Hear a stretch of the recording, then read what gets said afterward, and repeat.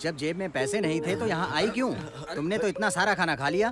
इसका बिल कौन देगा? मुझे मेरे पैसे चाहिए। अगर बिल नहीं दिया तो पुलिस को बुलाऊँगा। जेल भिजवाऊँगा।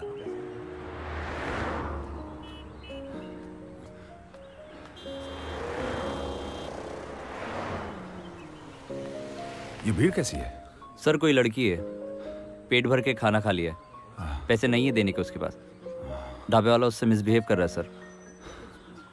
समझते क्यों नहीं हो? अरे साहब। नमस्ते सर। नमस्ते। सूरज? जी सर। इसका बिल पे कर दो इस लड़की को जहाँ भी जाना है उसका इंतज़ाम कर दो। Okay sir.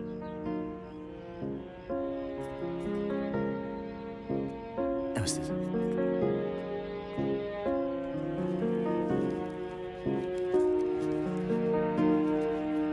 ये लो।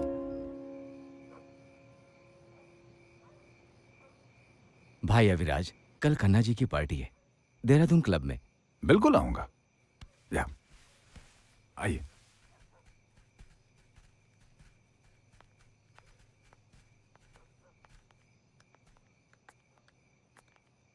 अच्छा नमस्कार। नमस्ते। चलिए मल्होत्रा साहब मिलते हैं। जी।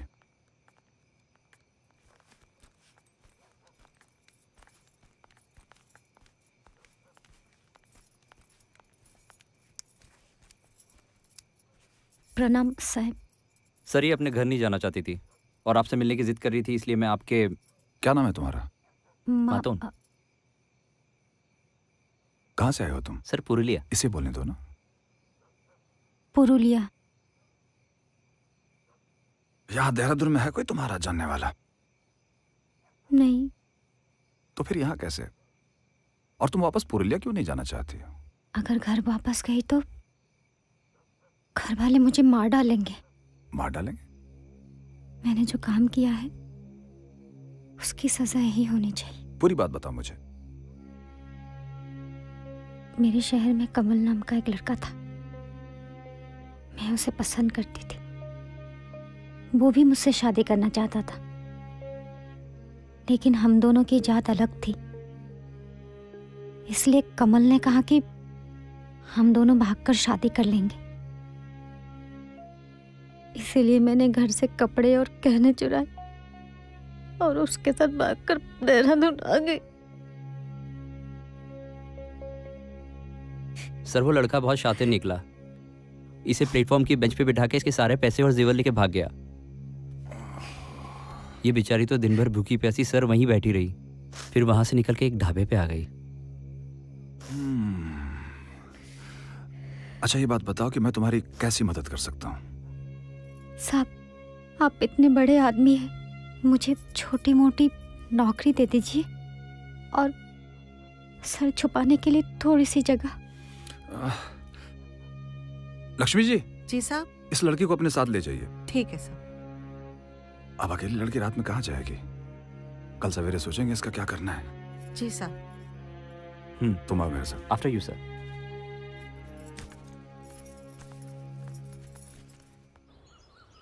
सर्वमंगल मांगल्ये शिवे सर्वार्थ साधिके शरण्ये त्र्यंबके गौरी नारायणी नमोस्तुते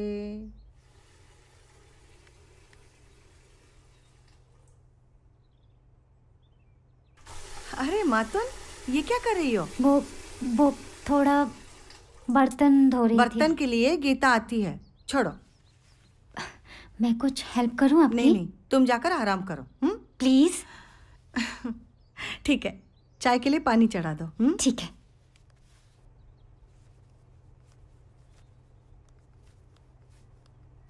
गुड मॉर्निंग साहब।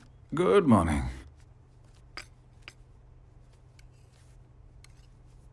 साहब आज इतनी जल्दी ऑफ़िस? एक इम्पोर्टेंट मीटिंग है। नाश्ता? नाश्ता मैं ऑफ़िस में ही कर लूँगा लक्ष्मी जी। एक बात कहूँ साहब। आप दो बातें कहिए।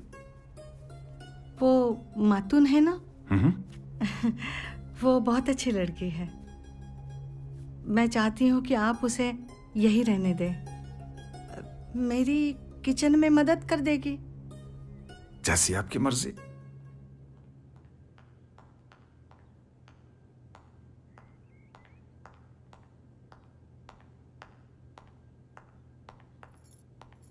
नमस्ते साहब। नमस्ते।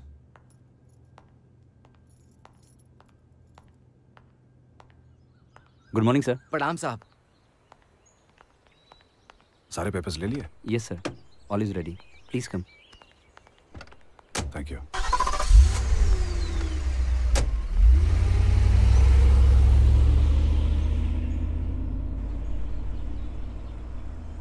sir वैसे तो ये डील लॉक हो गई है ना? लेकिन फॉर्मेलिटीज तो करनी पड़ती है सूरज। यस सर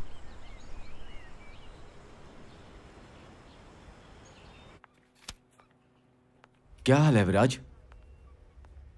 सब ठीक है।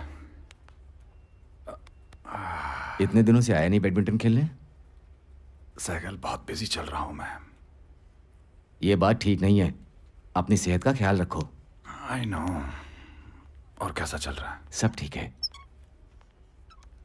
A very good morning sir good morning sir ये हॉस्पिटल के पेपर हैं.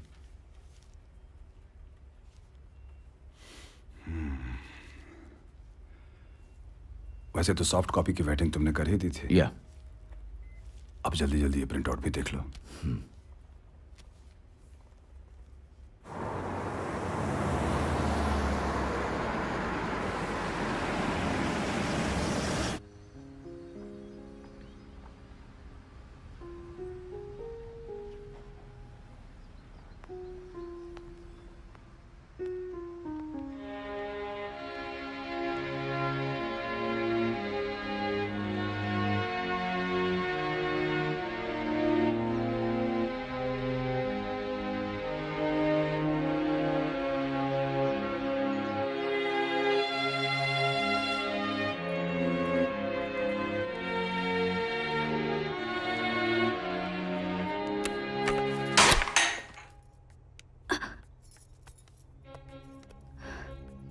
यहाँ क्या कर रही हो? वो चाय। इस फ्रेम को गिराने की क्या ज़रूरत थी? जी मैं वो जी मैं वो। जाओ यहाँ से। जाओ यहाँ से।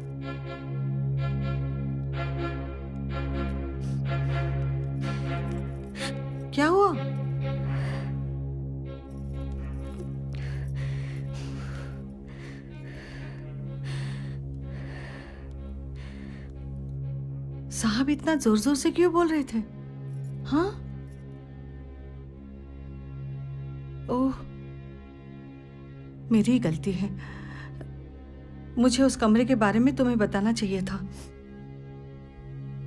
उस कमरे में साहब के अलावा और कोई नहीं जाता। खैर, तुम उनकी बातों का बुरा मत मानना हम्म? वैसे भी वो अंदर से टूटे हुए इंसान है। ऐसा क्या खास है उस कमरे में? कुछ यादें बीते हुए कल की। मैं समझी नहीं।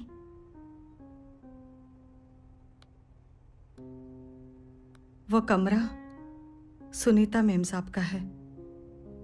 दस साल हो गए। उनको इस दुनिया से गए हुए अभी वादा करो कि तुम मेरे जाने के बाद बिल्कुल नहीं रोगे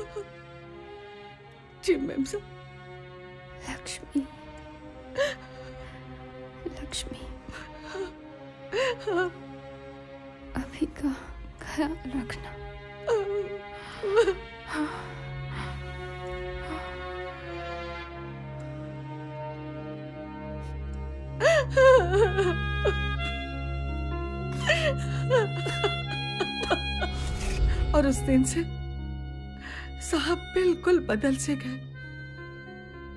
उनके होठों की हँसी जैसे गायब सी हो गई। और फिर साहब ने मेम साहब की सारी यादों को उस कमरे में संजो के रख लिया।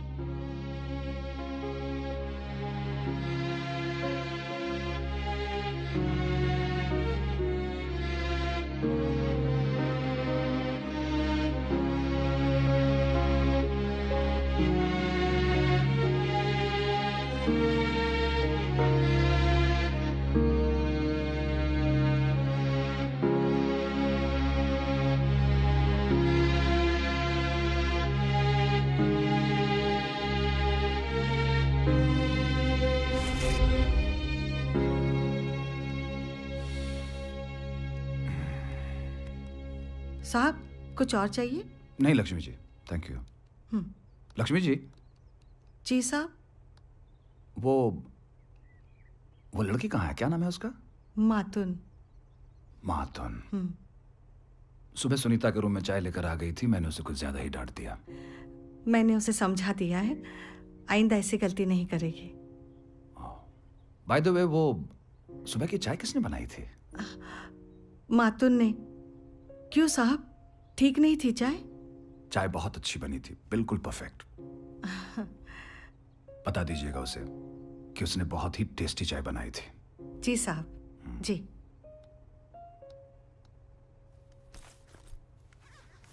जी बुलाया? मैं मसूरी जा रही हूँ अपने बेटे के पास उसकी तबीयत ठीक नहीं है। कल शाम तक वापस आ जाऊँगी। वैसे साहब को बता दिया है कि मैं जा रही हूँ।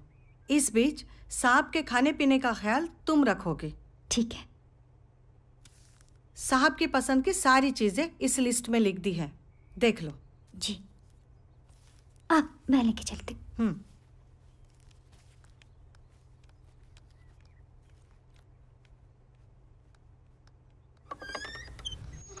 बात ये है कि हम जा रहे हैं मसूरी। और वहाँ से लौटते लौटते काफ़ी रात हो जाएगी। एक काम करते हैं कल आराम से बैठ के बतियाते हैं। ठीक है ना? आप फ़ोन रखो और यार दिमाग मत चाटो। रखो। भैया? जी मैडम। ये मातुन जी। घर का अच्छे से ख्याल रखना। जी। हम्म? जी।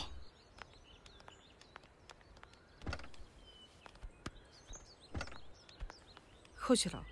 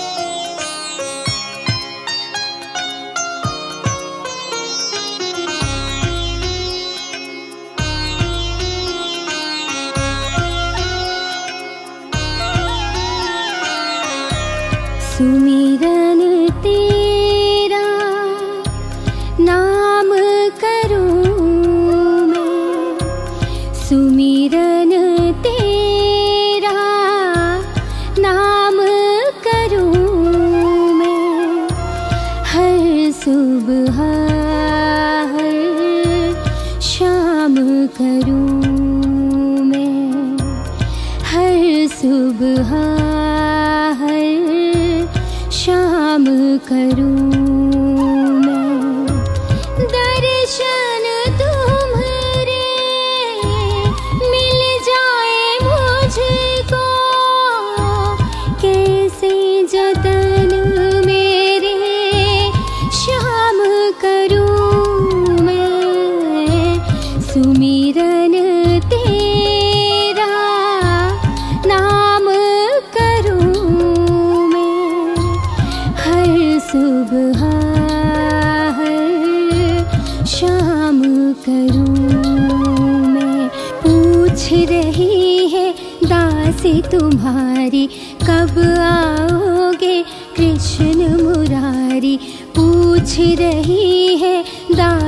तुम्हारी कब आओगे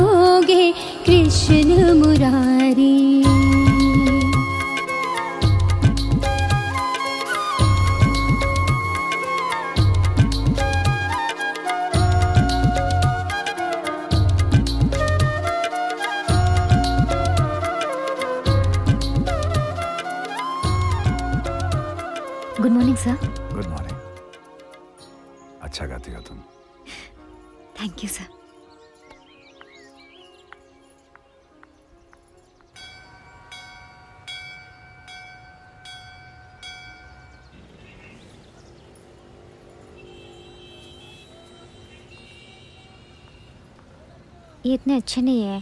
कैसी है मातून? हाँ? सब ठीक चल रहा है ना? अब जी सब सब ठीक चल रहा है। बस आपकी मेहरबानी है। हम्म। वो देना भैया यही रोको। अरे आ गई आप लक्ष्मी जी। भैया पैसे लो। आइए।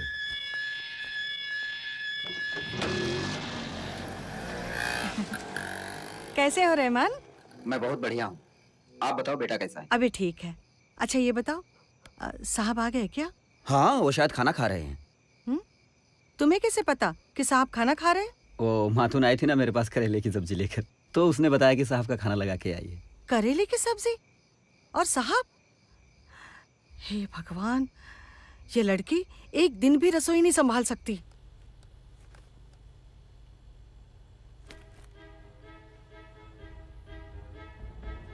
मेरी मना करने के बावजूद इस लड़की ने करेला और भिंडी की सब्ज़ी बनाई जो सब्ज़ियाँ साहब को बिल्कुल पसंद नहीं।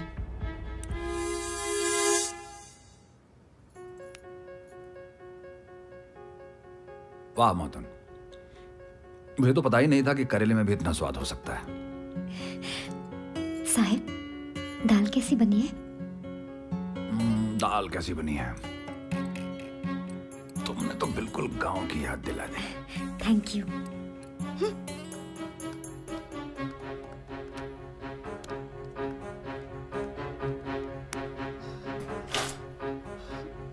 ये ये चाय की पत्ती और शक्कर का डिब्बा खा रख दिया?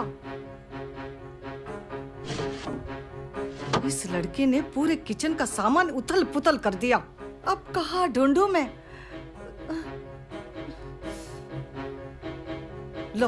यहाँ रख दिया।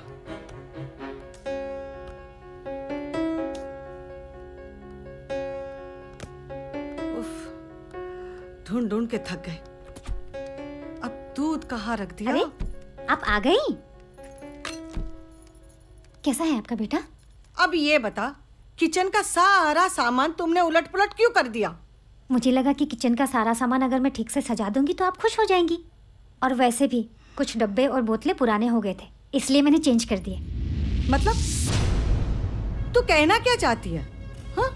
मुझे किचन साफ़ रखना नहीं आता। कल को तुम ये भी कहोगी कि मुझे खाना बनाना भी नहीं आता। आपको बुरा लगा क्या? और नहीं तो क्या? ठीक है फिर। अगर आपको यह सब अच्छा नहीं लग रहा है तो आज के बाद आपसे बिना पूछे मैं कुछ नहीं करूँगी। ये तुम्हारे लिए ठीक होगा। समझी? जी समझ गई। हेलो। जी ठीक है। किसका फ़ोन था? साहब का फ़ोन था ऊपर बुलाया उन्होंने मुझे बुलाया है। तो बता क्यों रही है? जाओ।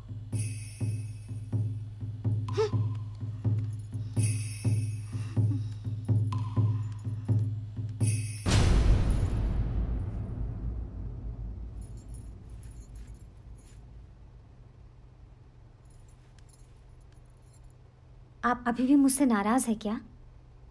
मैं तुमसे नाराज़ क्यों रहने लगी? वो मैंने जो किचन में नहीं मैं नाराज़ नहीं हूँ तुमसे। लेकिन आइंदा से ध्यान रखना ठीक है? जी बिल्कुल।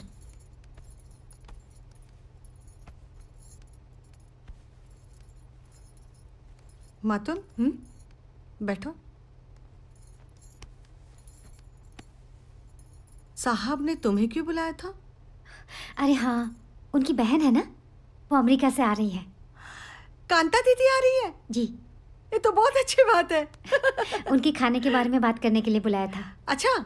हाँ उनको देसी खाना बहुत पसंद है ना? हाँ उन्हें देसी खाना इतना पसंद है कि पूछो मत। इसीलिए साहब चाहते हैं कि उनके लिए सारा खाना मैं ही बनाऊँ। क्या? साहब ने तुमसे कहा? उनके लिए खाना तुम बनाओगी? हाँ। अच्छा तो ये लड़की मेरी जगह लेने की कोशिश कर रही है। हम्म, मुझे क्या? मैं तो चली जाऊँगी अपने बेटे के पास। अगर मेरी ज़रूरत ही नहीं है यहाँ पे तो। लेकिन सुनीता मेम साहब को दिए हुए वादे का क्या करूँ? जौन हमरे गौवा के बगल तालाबवा है हाँ। वो के पास एगो बड़का मंदिर है। और गाँव वालन के मानना है। काका साहब आ गए। प्रणाम साहब। प्रणाम। आ, चलो मार्केट चलते हैं। कल दोपहर में कांता दीदी आ रही हैं अपने बहू और बेटे के साथ। हाँ हाँ। उनके खाने पीने की व्यवस्था अच्छी होनी चाहिए। हाँ जी। नहीं नहीं आप रहने दीजिए लक्ष्मी जी आप आराम कीजिए। इस बार खाना बनाने की ज़िम्मेदारी मैंने मातुन को दी है। आ जाओ कम। चलती हूँ।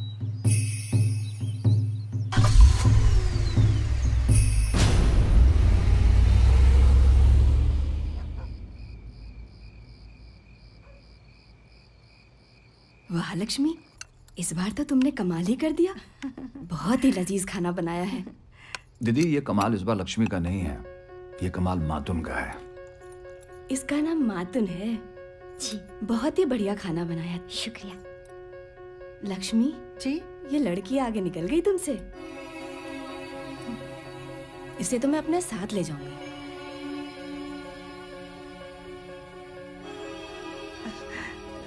मातुन तू यही रुक। मैं किचन में देखती हूँ। शायद गैस जला छोड़ाई हूँ जी। तो क्या कहते हो विराज ले जाऊँ इसको अपने साथ यूएस अगर ये मान जाती है तो ले जाइए। मुझे क्या प्रॉब्लम है? नहीं मैं यही ठीक हूँ। मुझे मालूम था यही जवाब होगा।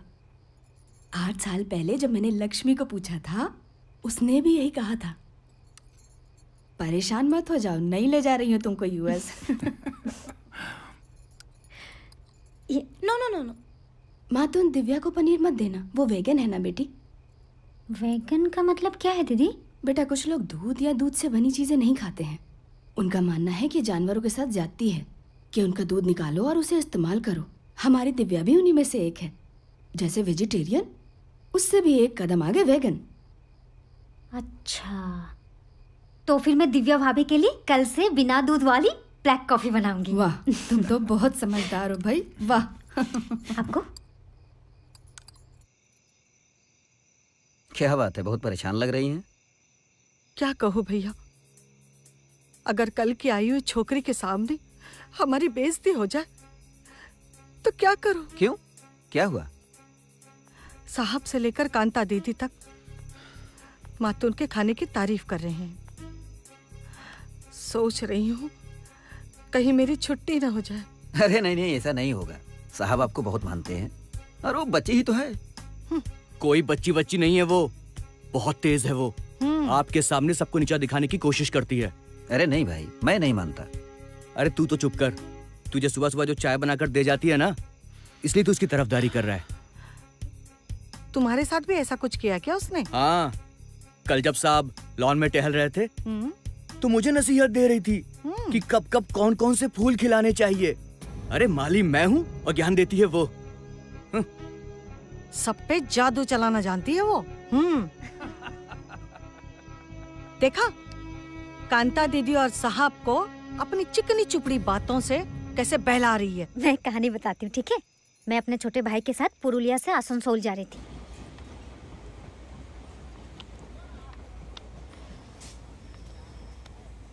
हड़वा में जड़वा समाई रे विदेशिया। ये ले, ला लो अगर ज़िंदगी भर भी कोशिश करोगे ना तो हमसे जीत नहीं पाओगे। अरे ट्रेन काहे रुक गई। लगता है कौन स्टेशन आ गया। जा भाई खाने के लिए लेकर आ कुछ? टिकट प्लीज़ उत्तरी अबे मैजिस्ट्रेट चेकिंग चालू है। विदाउट टिकट वाले को पकड़ के लेके जा रहे हैं। क्या? अरे तो उठो फिर। हाँ। हम लोग भी तो विदाउट टिकट है। अरे बैठे रहो। घबराओ ना। अगर ऐसा मुँह लेके बाहर जाओगे ना धर लेगा। टिकट तो हमारे पास भी ना है पर देखो आराम से बैठे हैं। अरे चाचा आप ठहरे बुज़ुर्ग आदमी आपको तो छोड़ ही देंगे। लेकिन हमें धर देंगे। ऊपर से ठोकेंगे बोनस के तौर पे वो अलग। जुर्माना भरने का भी पैसा नहीं है। पकड़ेंगे ना तो पक्का ले जाएँगे। और जेल तो कंफर्म है। चुप काहे बकर बकर कर रहे हो इतना? हम है ना तुमरे साथ चुपचाप बैठो। हमारे पास स्पेशल टिकट है।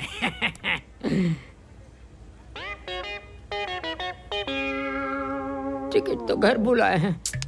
चलो यार। अरे रुको। ये देखिए हमारा स्पेशल टिकट अब देखना हमारा कमाल। भाई साहब तनिक डाल दो ना थोड़ी सी थोड़ी सी। ले ले ले ले। धन्यवाद धन्यवाद।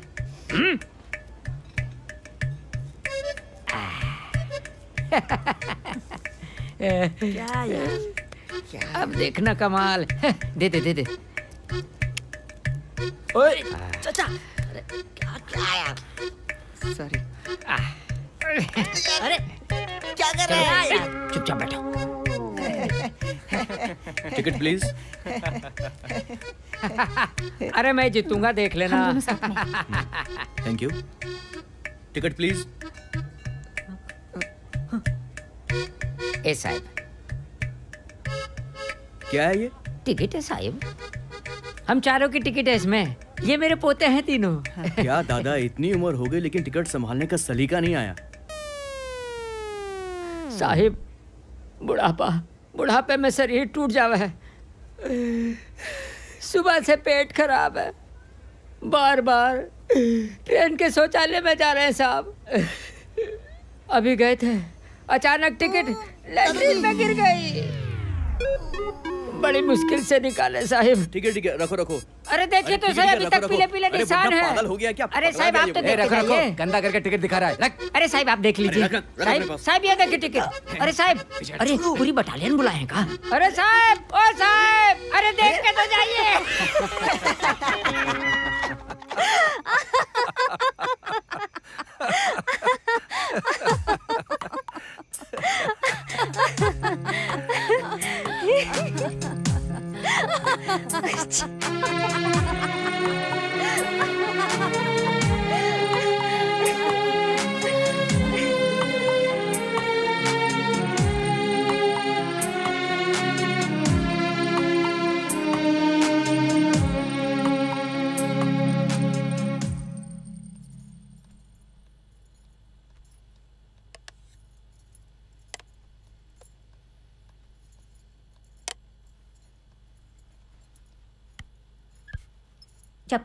कांता दीदी यहाँ थी घर पे काफ़ी रौनक थी ना? साहेब भी खुश रहते थे। अब तक कांता दीदी की फ़्लाइट अमेरिका पहुँच गई होगी ना? मुझे क्या पता? अच्छा बताइए आज डिनर में क्या बनाओ मुझसे क्यों पूछ रही हो? बताइए ना। आजकल साहब को मेरे हाथ का खाना कहाँ पसंद आता है? आप मुझसे नाराज़ लगती हैं। मैं क्यों नाराज़ रहने लगी तुमसे?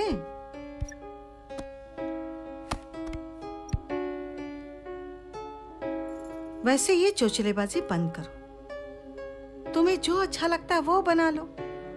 फिर भी समझ में ना आए तो साहब को फ़ोन करके पूछ लो, क्या बनाना है? हम्म?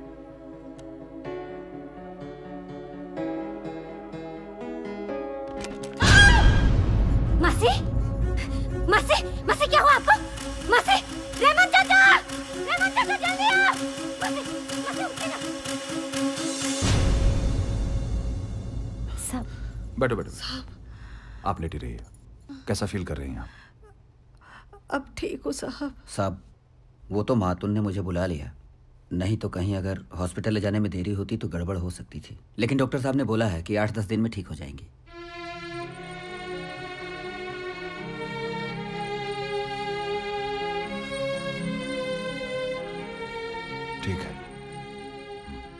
साहब। कल मुझे मेरा बेटा मसूरी ले जाने आ रहा है। ठीक होते ही आ जाऊँगी। मैं श्याम बिहारी से बोल दूँगा आपको छोड़ आएगा। ठीक है साहब। मैं चलता हूँ मातू बेटा। जी।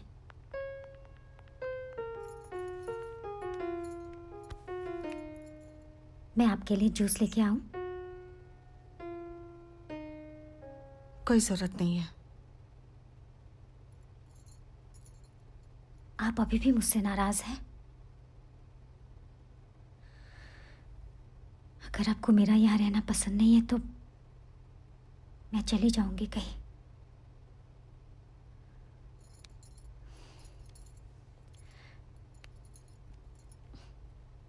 मैं आपको अपनी माँ से समझती हूँ। कितना ख्याल है इस लड़की को मेरा। मुझे लगता है मैं ही ज्यादती कर रही हूँ इस लड़की के साथ। अगर साहब को इसके हाथ का खाना पसंद आया तो इसमें इसका क्या कसूर है? मासी लक्ष्मी जी आप आप, आप ठीक तो है?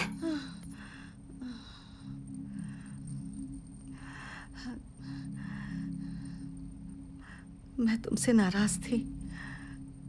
अब मैं तुमसे नाराज़ नहीं हूँ। लेकिन फिर तुम कभी मुझे मेरे नाम से नहीं बुलाओगी हम्म? वरना फिर नाराज़ हो जाऊँगी?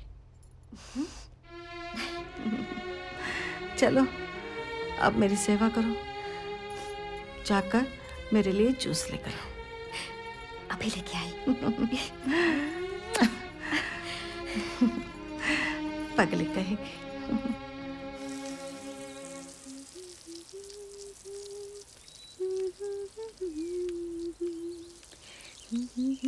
गुड मॉर्निंग गुड मॉर्निंग आज कौन सा नया ज्ञान देने आई है? मुझे फूल पत्तियों के बारे में। अरे सुरेंद्र काका आज मैं ज्ञान नहीं गाजर का हलवा देने आई हूँ। नहीं चाहिए। हम्म, नहीं चाहिए? हम्म। अरे शुद्ध देसी घी का बना है। सोच लीजिए। ठीक है। अच्छा दे दो दे दो लाओ। हम्म हम्म अच्छा है ना? खाइए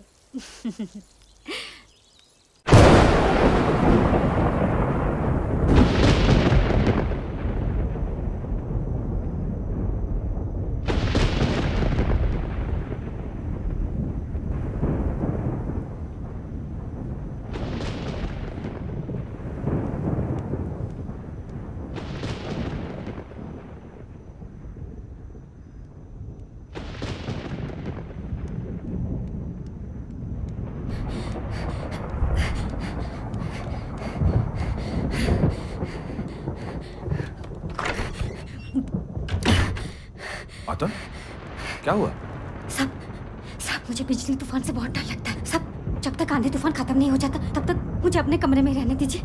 लेकिन इतनी रात प्लीज़ सच में मुझे बहुत डर लग रहा है। प्लीज़। ठीक है। तुम वहाँ सोफे पे जाके बैठ जाओ।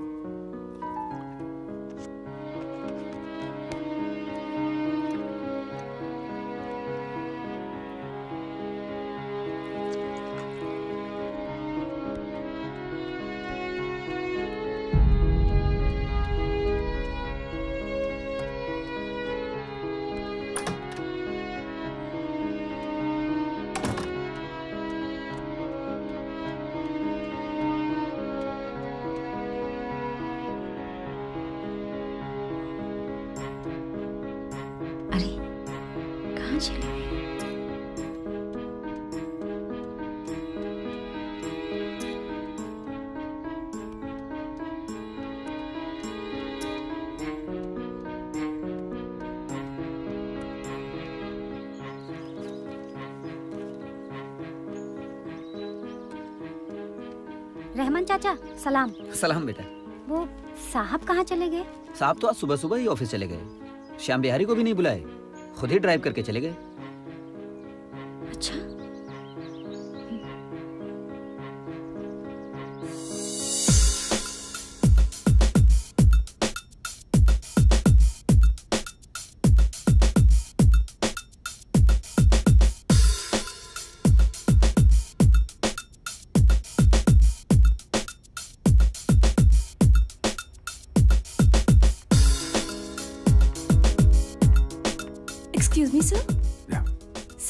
सागर आए हैं।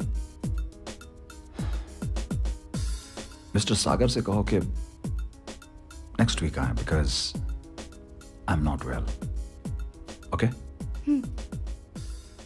okay sir सुनो अनीता। यस सर ऐसा करो इस वीक के जितने भी अपॉइंटमेंट्स हैं सबको कैंसिल कर दो। श्योर sure, सर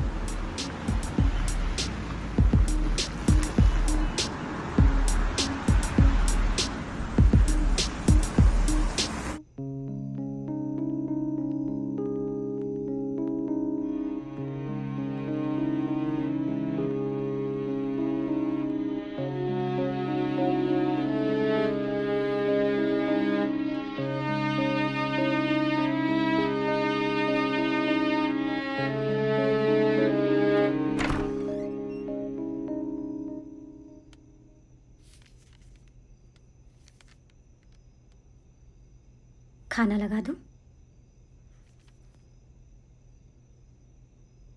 क्या बात है साहब? सुबह भी ब्रेकफास्ट किए बिना ही चले गए आप। कल रात जो हुआ वो होना नहीं चाहिए था। मुझे बहुत अच्छा लगा आपका छूना।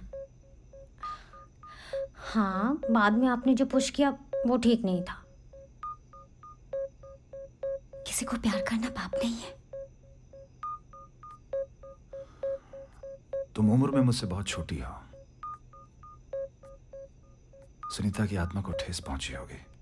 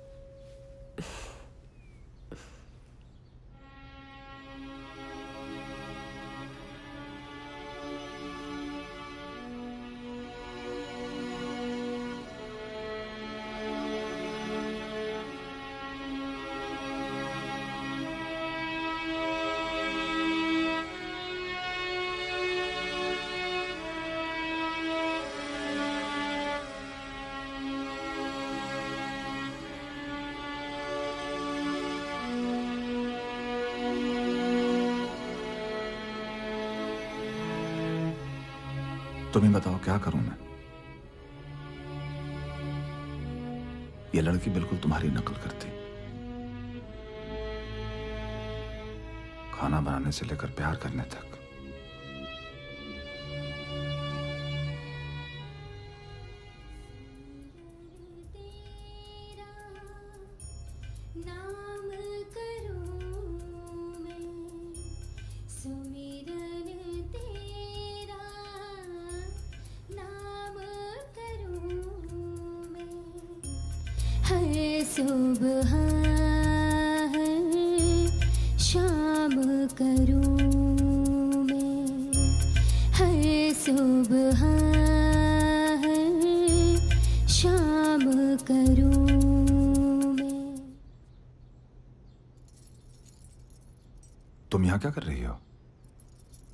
पूजा कर रही हूँ।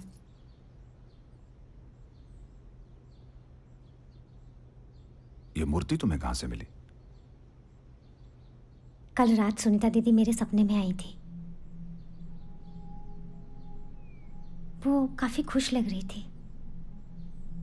वो कह रही थी कि उनके प्यारे किशन कन्हैया की पूजा बरसों से नहीं हो रही है। और वो चाहती है कि मैं ये काम दोबारा शुरू करूँ। उन्होंने ही बताया। मूर्ति अलमारी में है। तुम सच कह रही हो? मैं झूठ क्यों बोलूँगी? नहीं मेरा मतलब वो नहीं था। देखो मैं तुमसे एक ज़रूरी बात कहना चाहता हूँ। हाँ बोलिए। कल रात जो हुआ जो कल रात हुआ उसके लिए मैं बहुत शर्मिंदा हूँ। न जाने कैसे मैं जज्बात के राव में बह गया। दोबारा ऐसा नहीं होगा। यही कहना चाहते हैं ना आप? और ये भी कहेंगे कि आप अपनी पत्नी की यादों के साथ धोखा नहीं करना चाहते। और इसलिए मैं आपकी ज़िंदगी से दूर चली जाऊँ। हाँ। अगर आप चाहे तो मुझे इस घर से निकाल सकते हैं।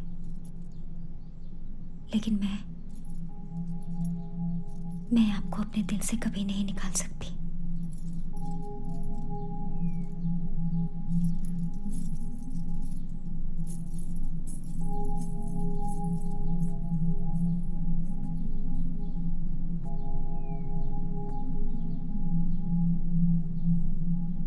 अब तुम्हें बताओ मैं क्या करूँ इस पागल लड़की का।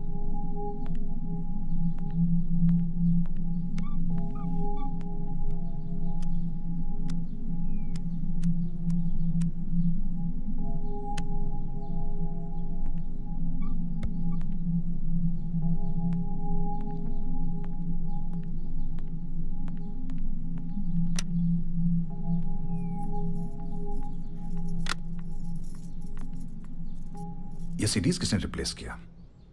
मैंने। किससे पूछकर? मुझे ठीक लगा तो मैंने रिप्लेस कर दी। उस रात जो एक गलती हुई थी उसका मतलब यह नहीं कि तुम अपने आप को मेरी बीवी की तरह ट्रीट करना शुरू कर दो। एक बात हमेशा अपने जहन में रखो कि तुम सुनीता की जगह कभी नहीं ले सकते। मैं सुनीता दीदी की जगह नहीं लेना चाहती और ना ही मैं ले सकती हूँ। मैं तो बस उस इंसान को जिसे मैं बेहद प्यार करती हूँ उसे खुश देखना चाहती हूँ। तो फिर सीरीज़ रिप्लेस करने की क्या ज़रूरत थी?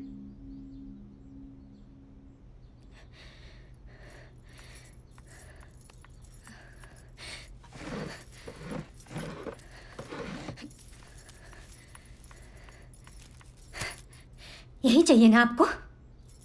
ये रफी के दर्द भरे नगमे ये मुकेश के दर्द भरे गीत और किशोर कुमार के दर्द भरे गाने। खूब सुनिए इसे। और डुबोए रखिए अपने आप को गम के समंदर में। जैसे ड्रग एडिक्ट होते हैं ना, वैसे आप दर्द के एडिक्ट हैं, खुशियों से डरते हैं आप। आप यही चाहते हैं ना कि मैं यहाँ से चली जाऊँ? मैं चली जाऊँगी। बस, लक्ष्मी मौसी को आ जाने दीजिए। मातोन? मातुन? जैसे ड्रग एडिक्ट होते हैं ना, वैसे आप दर्द के खुशियों से डरते हैं आप। डरते हैं वादा करो कि तुम मेरे जाने के बाद बिल्कुल नहीं रोगे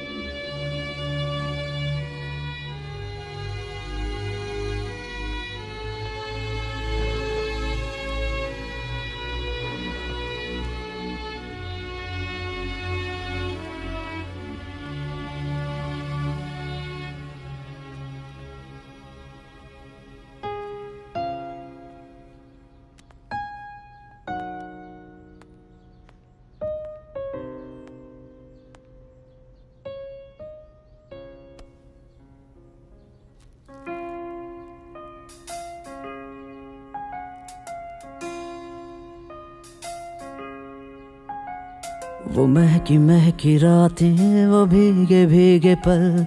आते हैं याद मुझको, वो गुजरे हुए कल।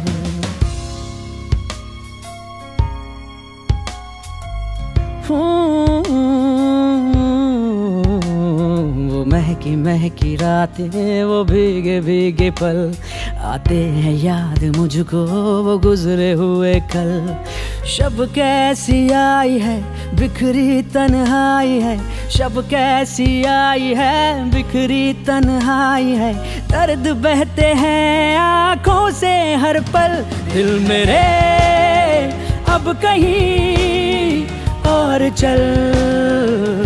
कहीं और चल। दिल मेरे अब कहीं और चल।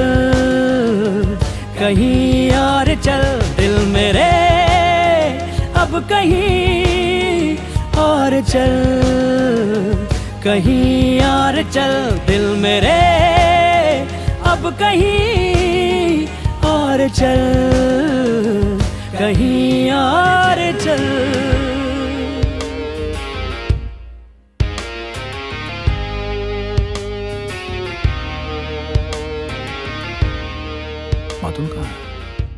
उसकी तबीयत खराब है।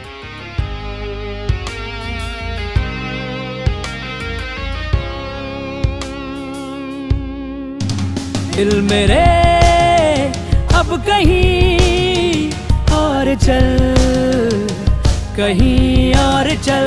दिल मेरे, अब कहीं और चल, कहीं और चल। दिल मेरे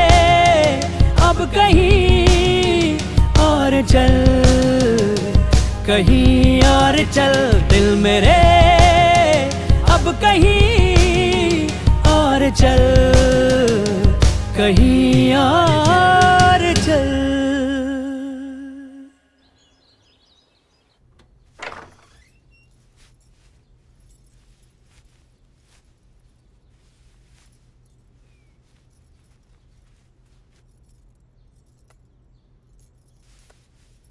आज कार्तिक महीने का चौथा दिन है। आज के दिन शादीशुदा औरतें अपने पति के लिए करवा चौथ का व्रत रखती है। अपने पति की लंबी उम्र के लिए। मैं भी व्रत रख रही हूँ। अगर आपको ठीक लगे तो ऑफ़िस से जल्दी आ जाइएगा। आपका चेहरा देखे बिना मैं पानी नहीं पीऊँगी।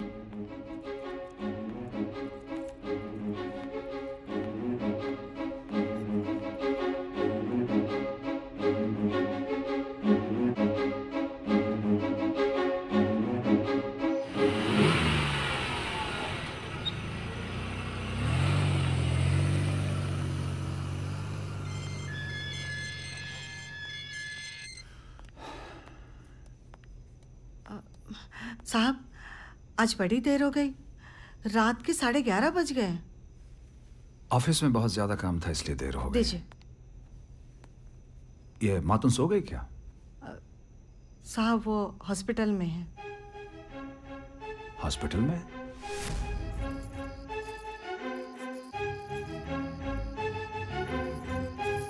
अरे मातुन क्या हुआ? मातुन मातुन अरे उठो। मातुन रहमान। रहमान मातुन कोई है उसके साथ हॉस्पिटल में? जी सुरेंद्र है वहाँ। अभी मैं जाऊँगी तो वो आ जाएगा। ठीक है। हम्म, आप हॉस्पिटल हो ये ये कुछ पैसे रख लीजिए अपने साथ। जी। खाना लगा दो साहब? लक्ष्मी जी भूख नहीं है। काफ़ी लेट लंच लिया था ऑफ़िस में। हम्म, ठीक है साहब गुड नाइट। Good night.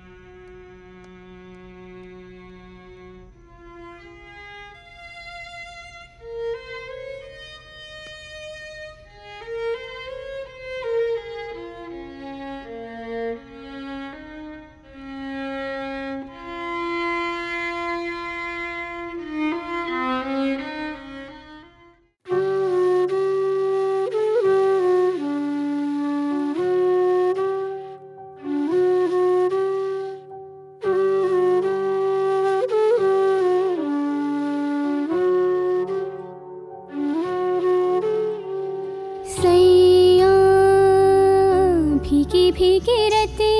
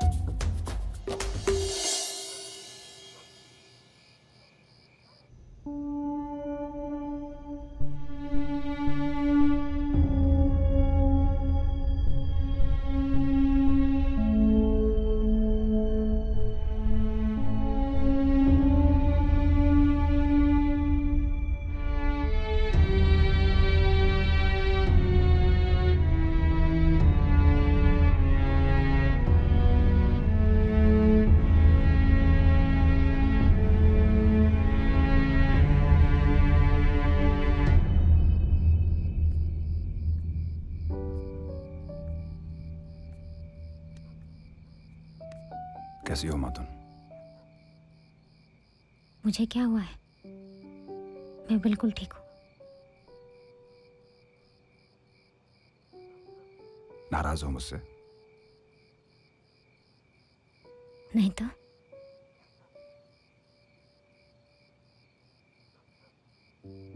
परसों तुम्हारी बेहोशी की बात सुनकर बहुत डिस्टर्ब हो गया था मैं। इसीलिए हॉस्पिटल में मुझे देखने भी नहीं आए। हॉस्पिटल तो इसलिए नहीं आया क्योंकि चलिए रहने दीजिए। अगर आपके दिल में मेरे लिए कोई जगह नहीं है तो आप कर भी क्या सकते हैं? और करे भी क्यों? एक मामूली सी नौकरानी के लिए आप जैसा बड़ा आदमी परेशान भी हो क्यों आखिर? अब तुम ही बोलती रहोगी या मुझे भी बोलने दोगी? मैं कौन होती हूँ आपको बोलने से रोकने वाली? और वैसे भी कल सुबह मैं यहाँ से जा रही हूँ हमेशा के लिए। तुम कहीं नहीं जा रही हो। आप मुझे नहीं रोक पाएँगे।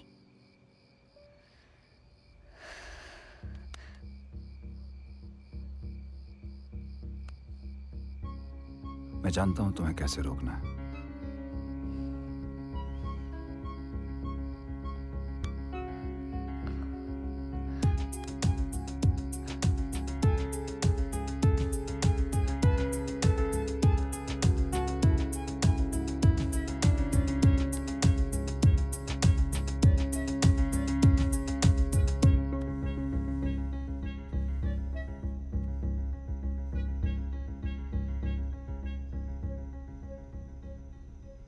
आसमान से सुनीता, हम दोनों को देखकर कितनी खुश हो रही होगी।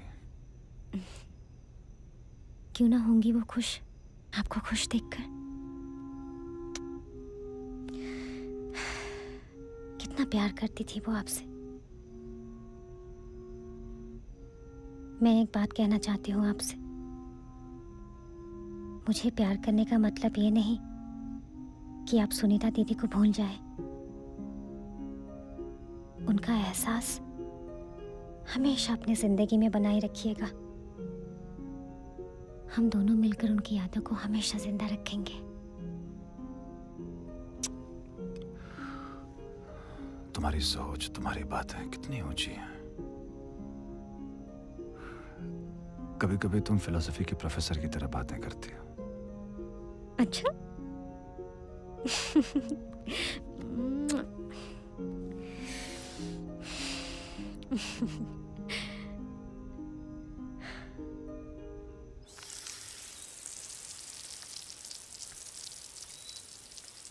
कैसे हो सुरेंद्र? सर नमस्ते। फूलों की काफ़ी अच्छी वैरायटीज लगाई हुई है। सर मैडम की सलाह थी। उनको फूलों के बारे में बहुत जानकारी है। बात उनकी? जी साहब। हम्म, ठीक है।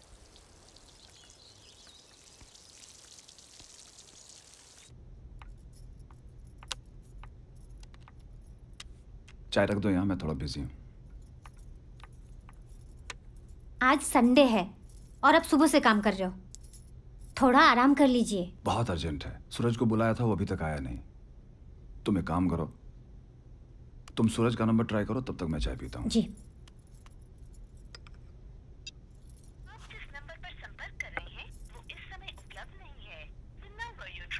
बहुत ही रिस्पॉन्सिबल लड़का है।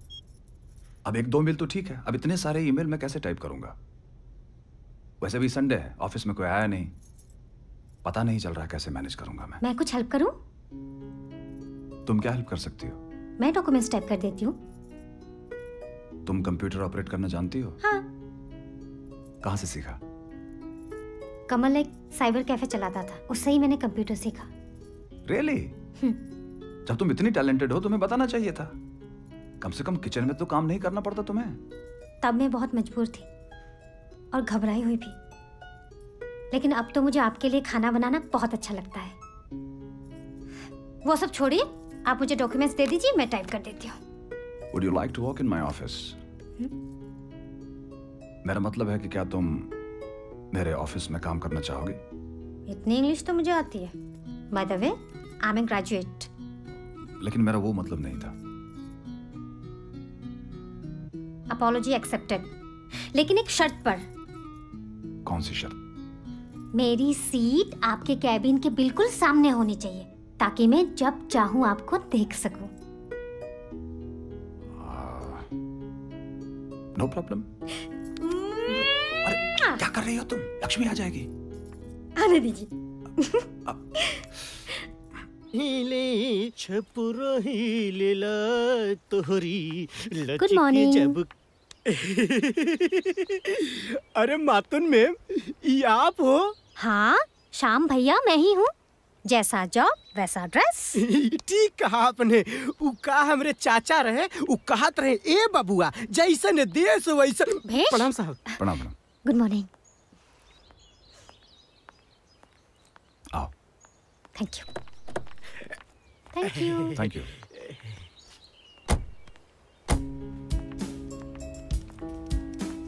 hey guys. Hi. Hi. Matun. Nice to meet you. Hello. Hello. Hi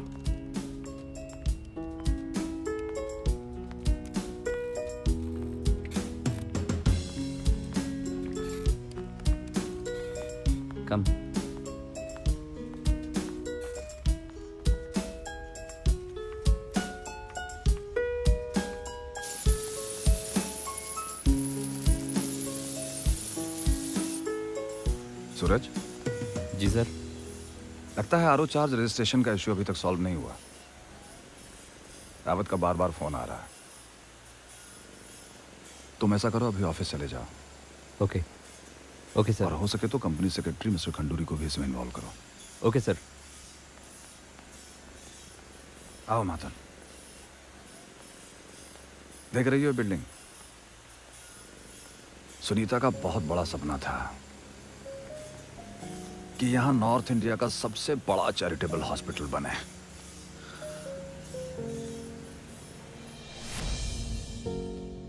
जानू, ये प्रोजेक्ट 110 करोड़ का है। हमारे पास इतने फंड्स हैं नहीं। पैसे आएँगे कहाँ से? Don't worry.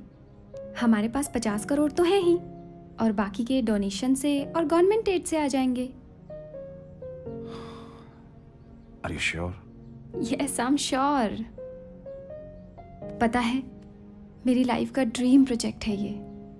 मेरा मकसद है ये। और अगर इसे किए बिना मैं मर गई ना तो आत्मा भटकेगी मेरी।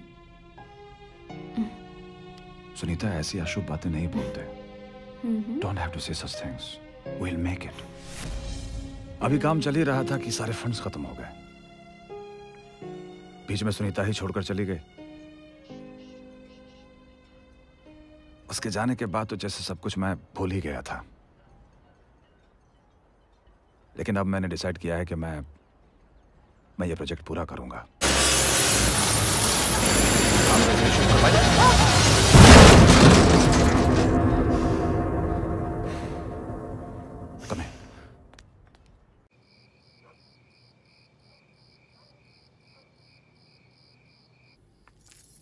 हेलो मौसी आ गई। बताइए मैं क्या हेल्प कर सकती हूँ अरे अभी तो ऑफ़िस से आई हो। थक गई होगी। जाओ जाकर आराम करो। मैं कर लूँगी। नहीं मासी प्लीज़। अरे। कुछ तो दीजिए। नहीं? हम्म, चलो ये भिंडी काट दो। ठीक है। लो। ये दीजिए।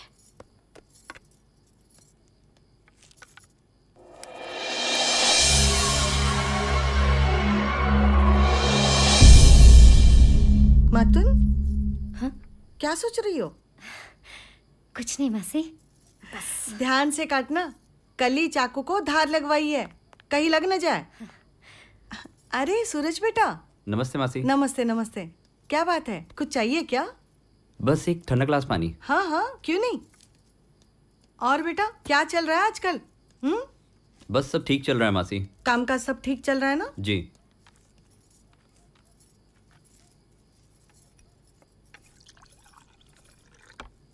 लो सूरज पानी। थैंक यू मासी।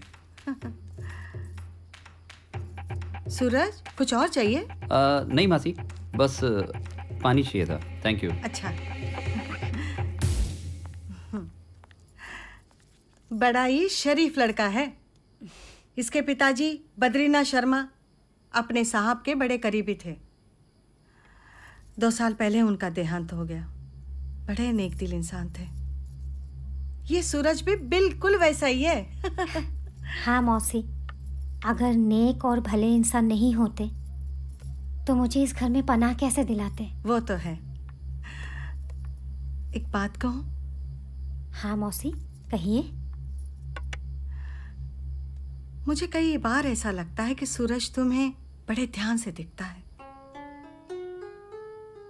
सूरज बहुत अच्छा लड़का है। अच्छे खानदान से है। अच्छी नौकरी है उसकी। तुम कहो तो तुम्हारी बात चलाऊं उसे? नहीं मौसी मैं शादी नहीं करना चाहती। क्यों?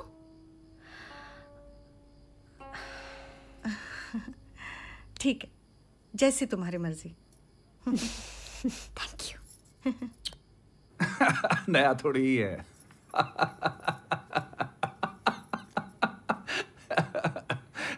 या फैमिली ट्रेडिशन यस हाँ हाँ, हाँ ठीक है। ठीक है मिलते हैं मिलते हैं। आप हँसते हुए कितने अच्छे लगते हैं। यह हँसी भी तुम्हारी दी हुई है।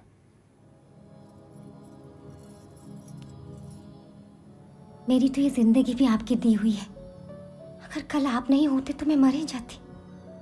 एक पल के लिए मैं भी डर ही गया था। चलिए। इसी बहाने आपने मुझे गले तो लगाया। तुम्हें इस वक्त भी मज़ाक सोच रहा है?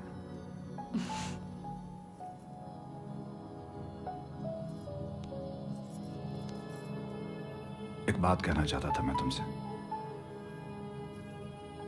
तुम इस तरह से रात में मेरे कमरे में मत आया करो। लक्ष्मी को शक हो जाएगा। आप हमारी रिलेशनशिप को पब्लिक क्यों नहीं कर देते? सारी प्रॉब्लम ही खत्म हो जाएगी।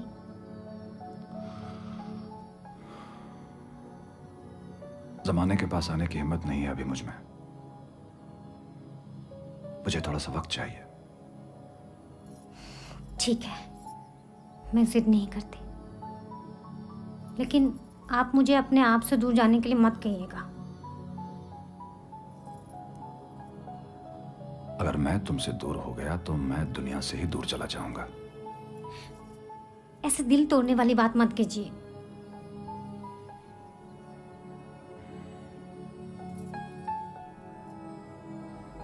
मुझे आपसे एक और बात करनी थी। बोलो। वो श्याम बिहारी को कुछ पैसे चाहिए थे। तुम्हें मालूम है कि सेफ़ और अलमीरा की चाबी कहाँ रखी हुई है? तुम्हें जितने पैसे निकालने हैं निकाल लो और शाम को दे दो। लेकिन कीज मुझे हमारे तुम्हारे बीच में ये लेकिन वेकिन की कोई गुंजाइश नहीं है। एक बात और कहना चाहता हूँ तुमसे। आज से सुनीता के कमरे की साफ़ सफ़ाई की ज़िम्मेदारी तुम्हारी। और उसके कमरे में जो कृष्ण भगवान की मूर्ति रखी हुई है उसकी पूजा भी तुम ही करना। सुनीता की आत्मा को शांति मिलेगी। जी। लगता है साइकिल और रावत आ गए। तुम उनके लिए थोड़ा सा ब्रेकफास्ट बना लो।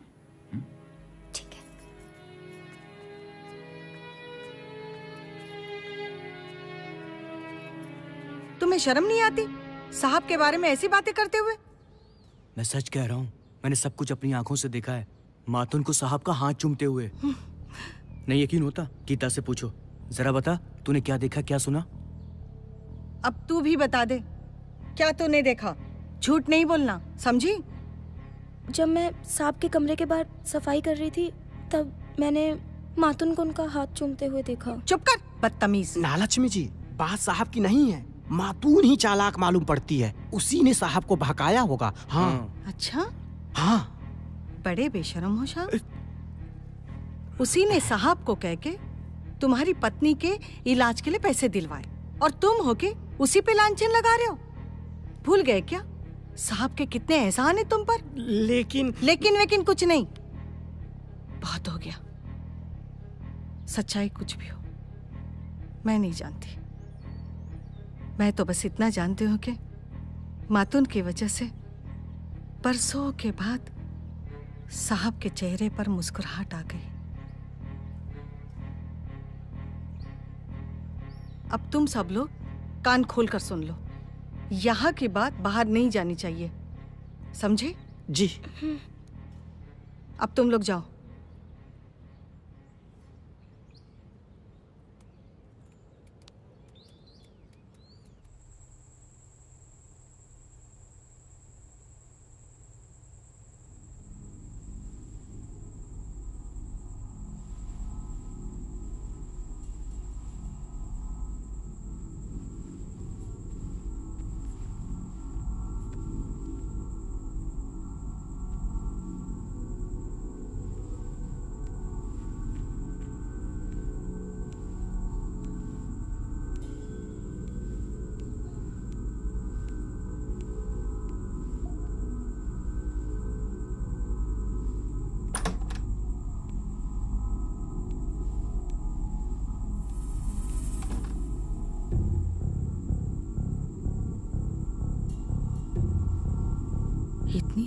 ये कहा जा सकती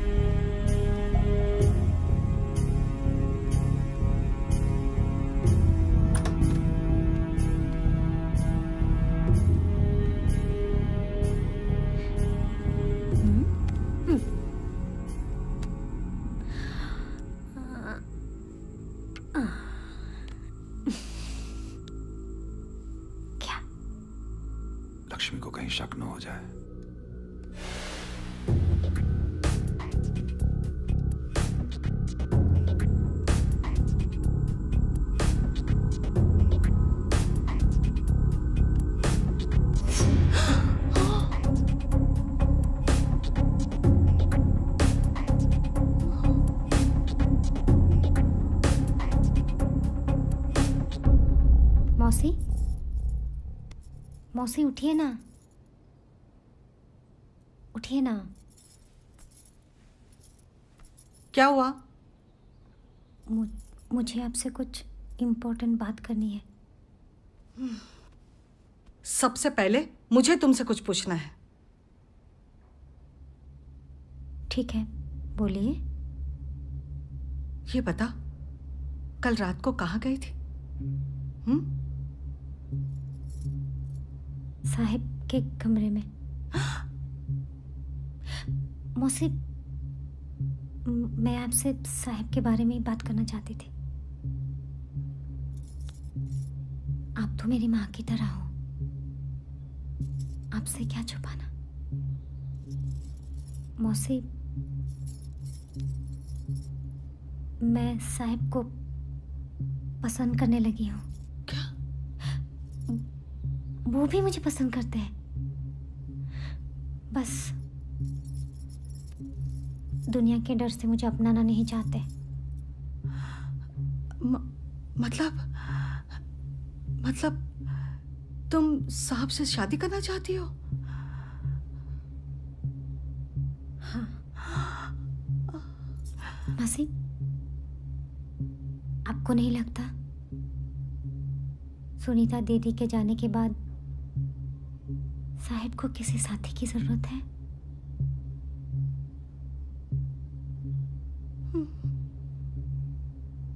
आप कुछ बोल क्यों नहीं रही है?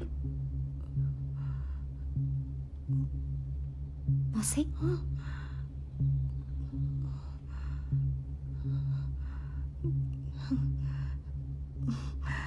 साहब की खुशी में ही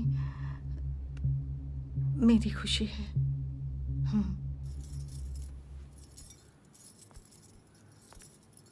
मीटिंग कहाँ पे है? मुंबई में। मुझे भी साथ ले चलिए ना। तुम्हें पता है कि वहाँ सूरज भी होगा? ठीक है फिर मैं जिद नहीं करती। वैसे आपकी फ़्लाइट कितने बजे है? छह बजे की। मातून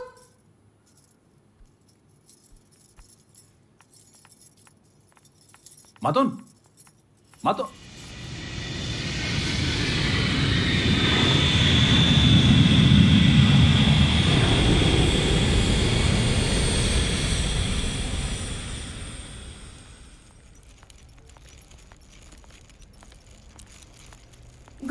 sir. Good evening.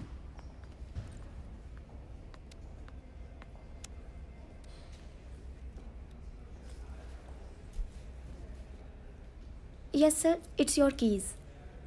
Thank you. Thank, Thank you, sir. sir.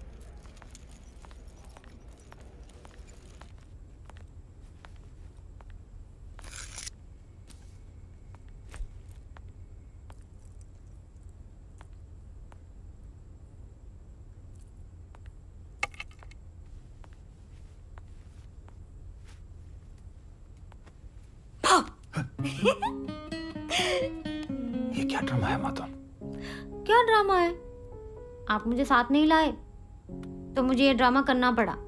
अरे लेकिन ये होटल वाले क्या सोचेंगे? है? क्या सोचेंगे? उनके होटल में पहली बार कोई हस्बैंड वाइफ आया क्या?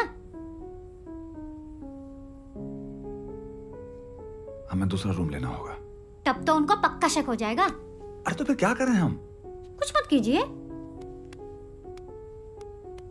कल सुबह सूरज आने वाला है ना? नहीं आएगा मतलब? एक मिनट।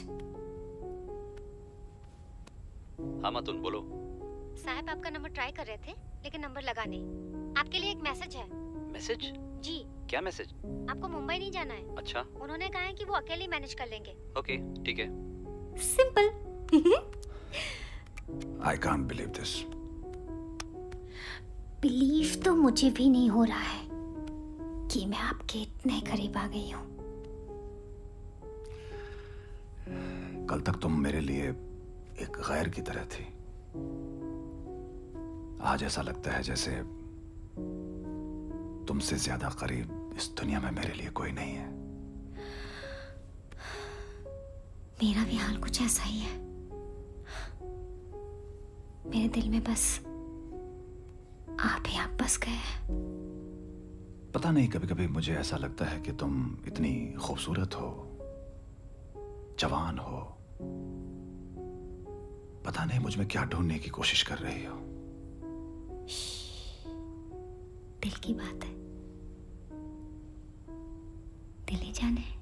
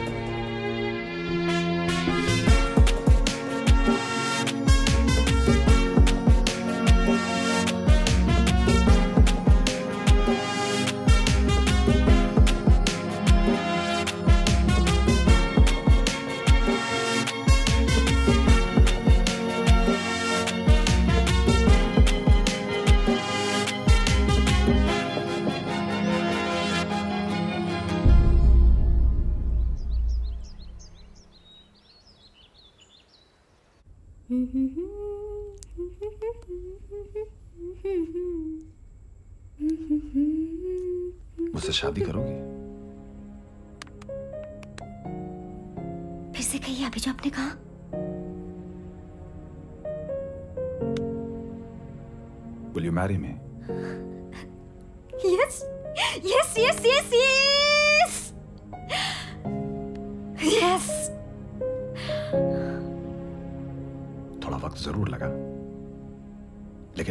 फैसला कर लिया है कि मैं दुनिया की परवाह नहीं करूँगा।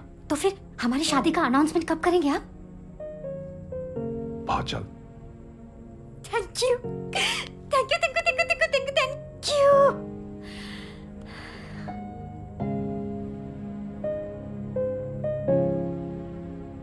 मन करता है। ऐसे ही आपकी बाहों में सिमटती चली जाऊँ। मेरी साँसें रुक जाए। और मेरे जीवन को विराम लग जाए। पागल लड़की। अच्छा एक बात और। अभी ये सब हमारे तुम्हारे बीच ही रहे। कल मैं कांता दीदी से बात करूँगा, फिर डिसाइड करेंगे।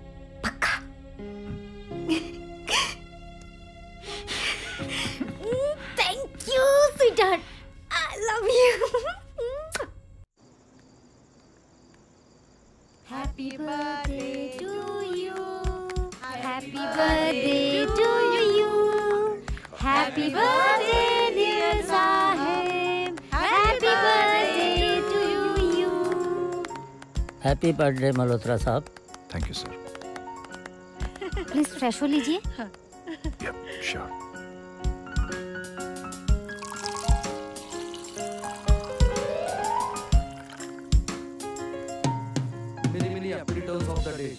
thank you many many happy returns of the day sir thank you happy birthday thank you very much ladies and gentleman आज का दिन बहुत खास है, क्योंकि मिस्टर मल्होत्रा करीब 10 साल के बाद अपना जन्मदिन मनाने जा रहे हैं। बहुत जल्दी में ये पार्टी अरेंज की गई, इसलिए बहुत कम लोगों को यहाँ इनवाइट किया गया। इस इस मौके को खास बनाने के लिए मैं मिस्टर मल्होत्रा से रिक्वेस्ट करूँगा कि वो केक काटें।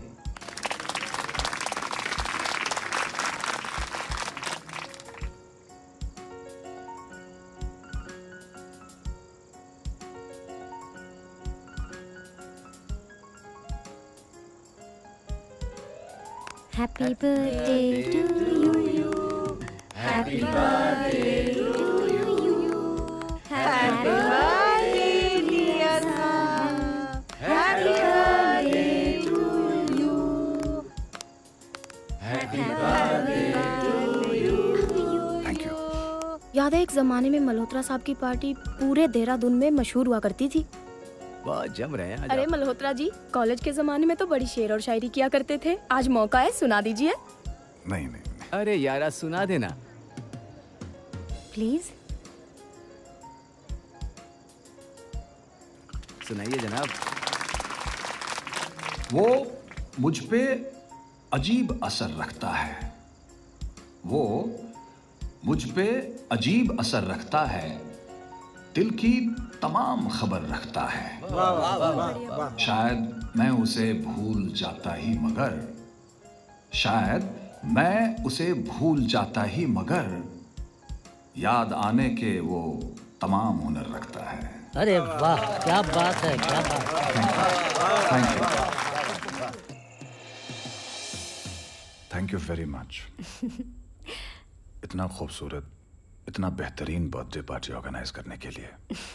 यू वेलकम तुम्हारी वजह से फिर से एक बार जीने का एहसास हो गया है मुझे। लेकिन कभी कभी डर लगता है। डर?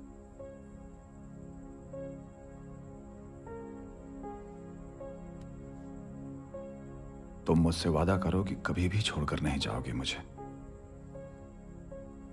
और अगर कभी ऐसा हुआ तो मैं ज़िंदा नहीं बच पाऊँगा। ऐसे शुभ मौके पे ऐसी बात क्यों कर रहे हो आप?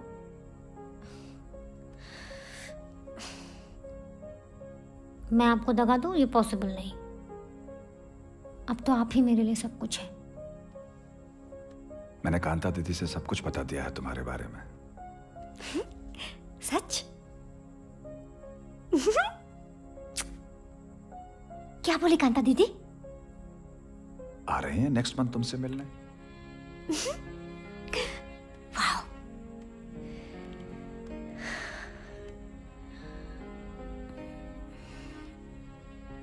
मुझे भी आपसे कुछ ज़रूरी बात करनी है अपने बारे में।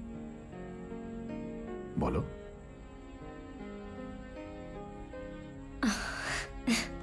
रहने दीजिए आज नहीं कल बात करते हैं।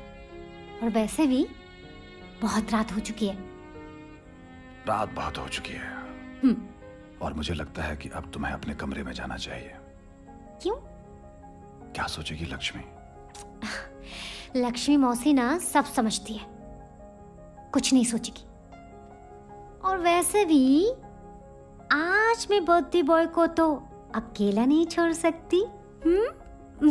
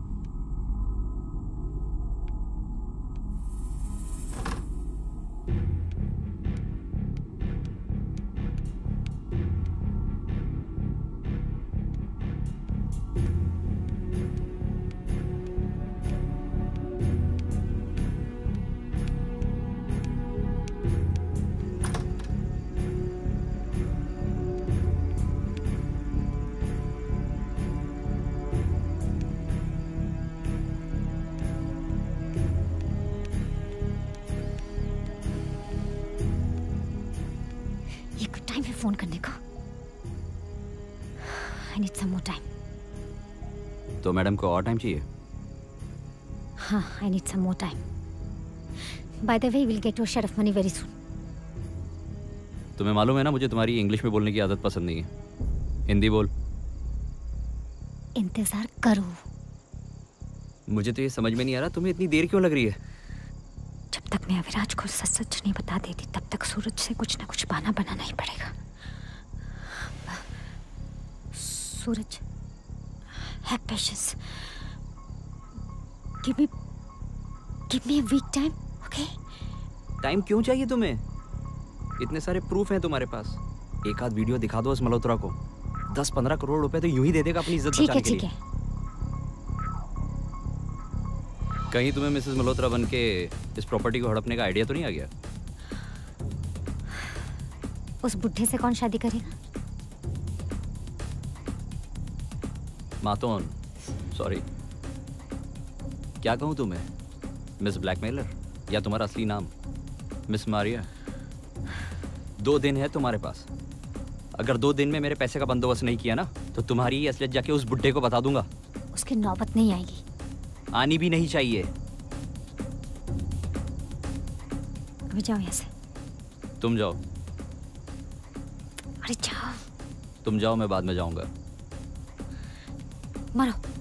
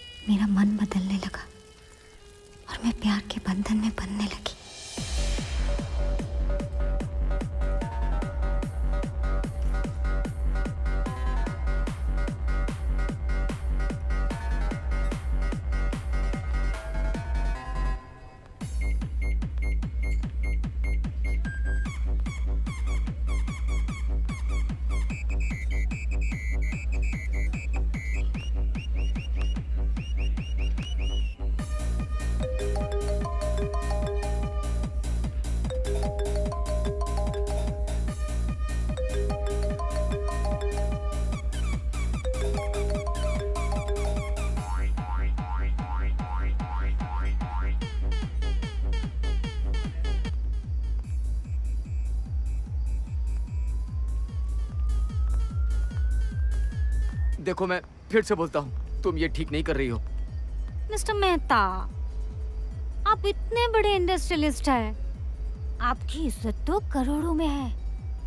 मैंने तो बस एक छोटा सा अमाउंट ही मांगा है आपसे।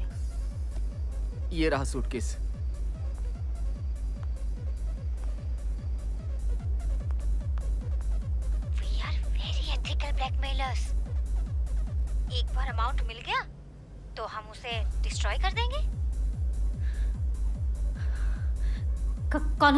चाहते हो? घबराइए मत मैडम।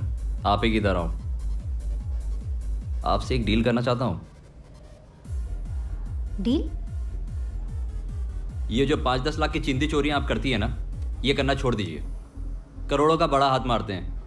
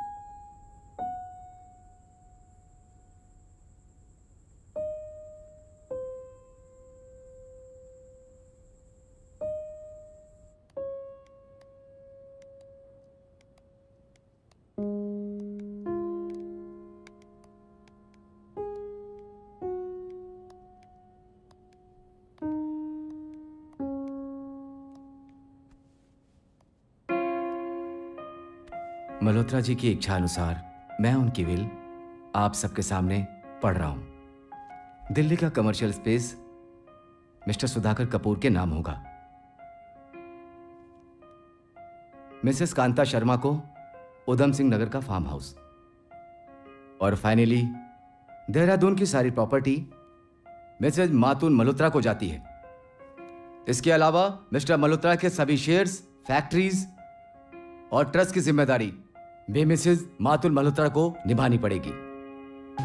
गम का दरिया है ठहरा हुआ और मौजों में तूफ़ान है। उजली उजली सी सुबह बुझ गई ज़िंदगी कितनी वीरान है।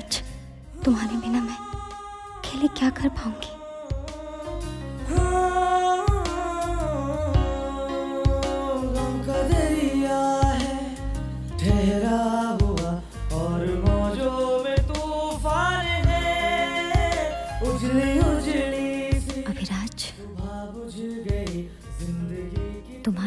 प्रोजेक्ट को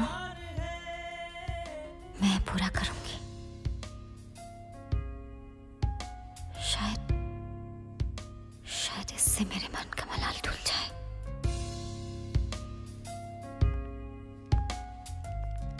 रहमान चाचा? माथुन बेटा, वो सूरज बाबू ने ये चिट्ठी आपके लिए दी है। मैं जाऊँ बेटा?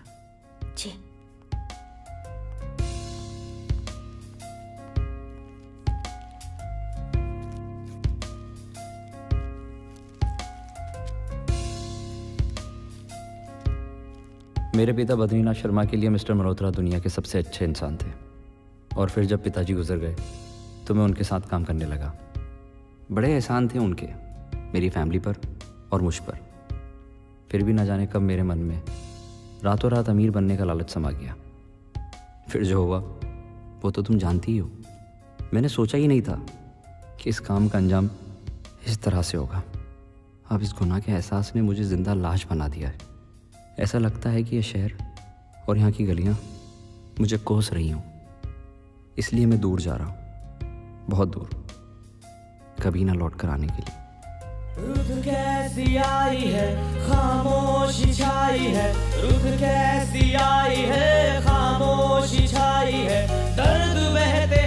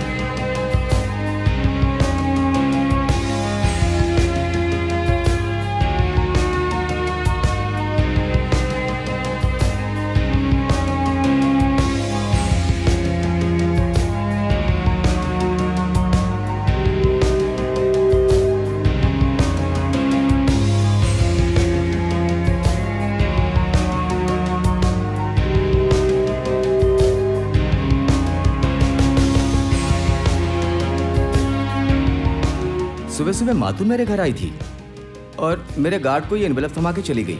मुझसे मिली भी नहीं।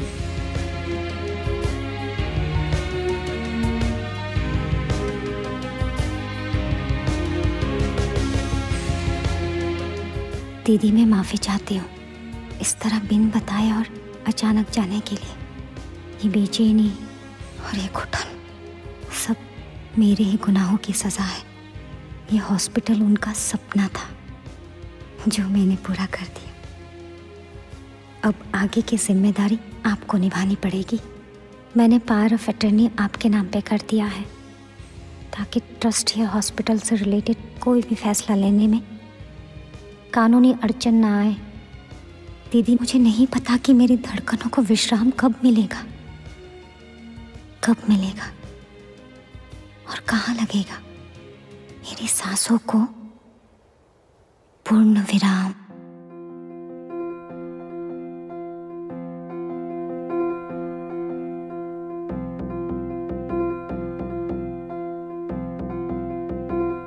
बड़ा अजीब है सफ़र, ये ज़िंदगी का सफ़र। रुके रुके है रास्ते, न मंजिलों की खबर।